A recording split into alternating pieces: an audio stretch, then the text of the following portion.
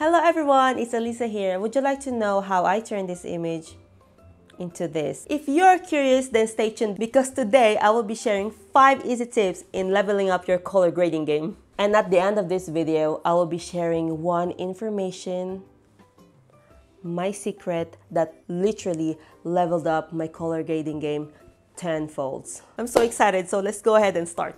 Tip number one is be prepared. A good color grade starts before you take the shot, so it's like building a house, you need a good foundation for it. I'll show you how I did it when I went out to take the photos for today's video. To get that dream color grade that you've always wanted, make sure that you shoot in RAW because RAW contains more color, more tonality, basically gives you more room to play when you're color grading. Like for example, it can let you change the white balance in post-process later on, but you will want to have your white balance spot on during the shoot. So before you actually do the photo shoot, you want to have to take a reference shot. And how I do that, I have this pop-up gray card with me and I also have a smaller version of it. So if you're shooting a model, you can just let them hold this for you or if you're shooting landscape, you can just have this within the frame.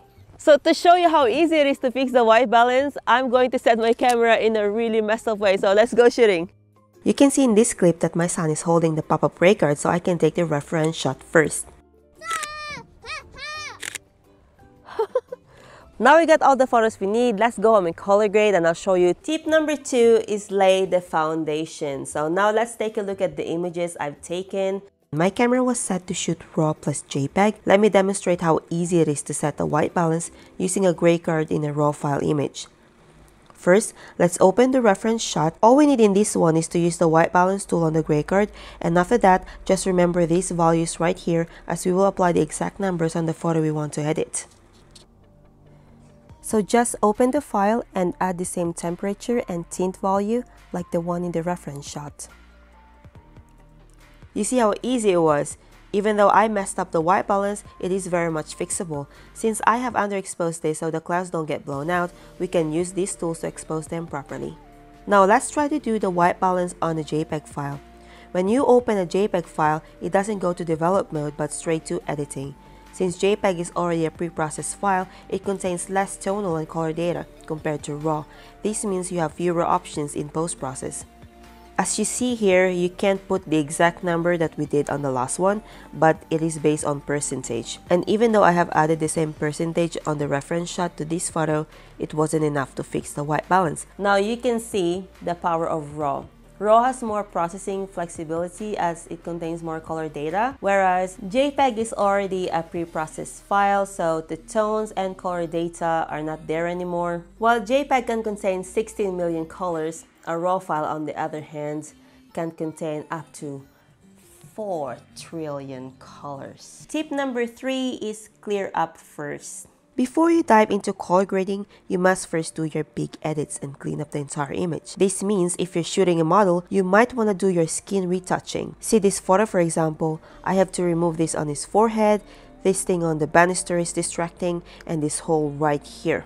The reason why you have to do your big edits first is, for example, if you've already finalized the image, you've colored it properly, you exposed it well to the way you want, you've added texture on it, you start to realize that, oh, I actually want to remove this thing in the background, and since there's texture on it, it just ruins the entire image. You see this example photo that I did? If I have color graded this first, since I have added the texture in this photo, it will get ruined if I try to fix the background on the very end. Tip number four is have a vision. Plan how you want your photos to look like. This can be planning your model's outfit, the location you're shooting at, and the light available.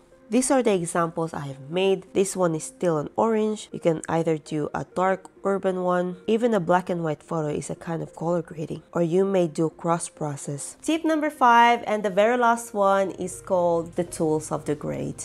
There is no one tool that fits all. These are like cooking. There are different ingredients to make up one image. I'm using Affinity Photo application, but the tools are the same in other editing softwares like Photoshop and even video editing softwares. The first one is curves. This line represents the tonality of the entire image, so moving them from different points affects brightness, contrast, and you can change color tone in these options right here. You can make your photo more warm, or more cool. The next one is gradient map. Gradient map adds color to areas such as the highlight, midtones, and shadows. This one tool is powerful enough to demonstrate color harmonies. Like you can use this one to make teal and orange.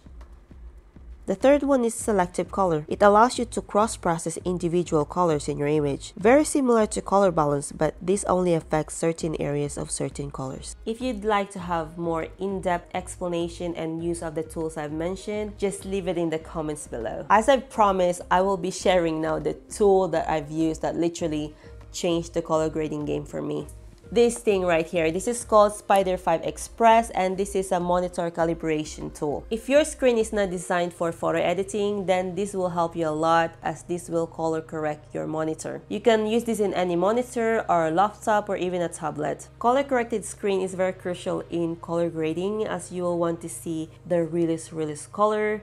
You'll want to see the things such as your vibrance, your saturation, and your contrast, to say a few. This also comes with a color checker and a gray card, and you can use this to the one I've mentioned in tip number one, which is using this exact same thing.